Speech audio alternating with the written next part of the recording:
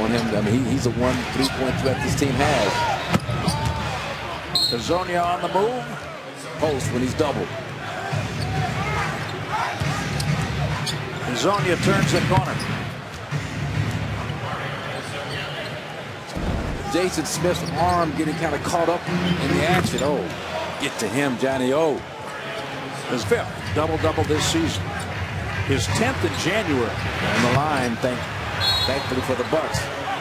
Qualification on fouls this season. Hezonja at the line. 20-year-old rookie. Mario Hezonja.